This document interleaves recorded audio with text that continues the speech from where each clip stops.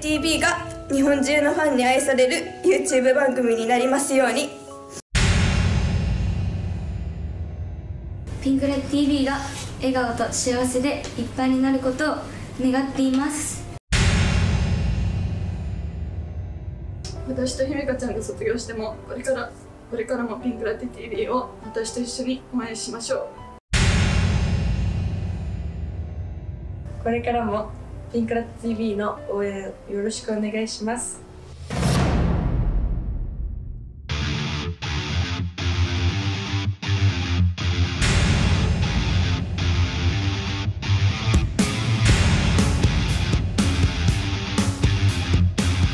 今日10月1日からピンクラテ TV の新メンバーを決めるピンクラテドリームマッチが始まります。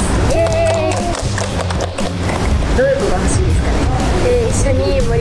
れる子が来てくれたら嬉しいなって思います。悪くてね物落ちしない子がいいですね。